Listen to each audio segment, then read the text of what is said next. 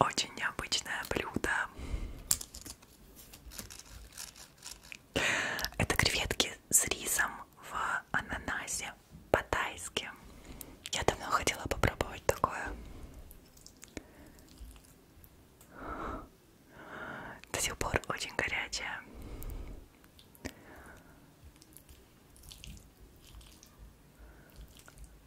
Покажу вам поближе.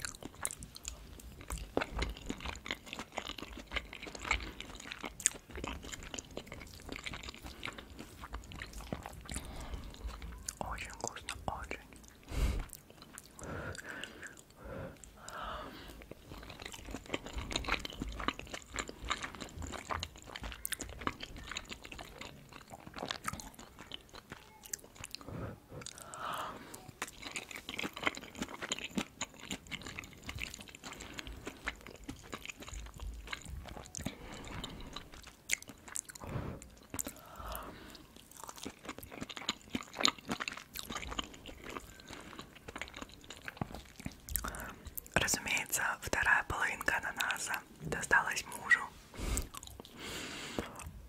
То вы вечно спрашиваете, ест ли он